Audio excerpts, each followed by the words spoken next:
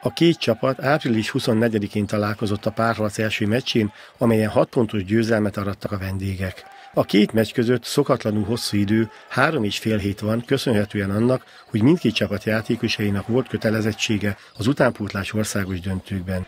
A nyíregyházi fiatalok a Debreceni junior döntőben szerezték meg a bajnoki címet, az MTK Török Bálint fiataljai pedig az 20-as döntőben szerepeltek.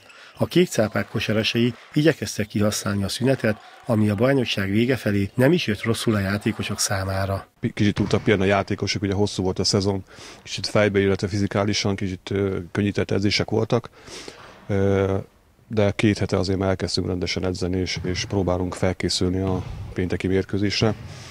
Remélem sikerül. A Nyíregyházi szakmai stáb szerint az első meccsen a szezon leggyengébb játékát nyújtotta a csapat, amennyi csak jobbat mutathatnak Török Bálinton. Ez a véleménye az együttes irányítójának, Bus Ivánnak is. Jobb csapatnak tartom magunkat a Török Bálintnál, emiatt ö, szeretnénk javítani, és úgy gondolom igen, ezt a három, majdnem három hetet hasznosan töltöttük, nagyon sokat gyakoroltunk egymás között egész pályán is, játékos edzések voltak, jó hangulatban telt, és szeretnénk visszavágni, hogy aztán kedden a harmadik meccsen eldönthessük ezt a párharcot.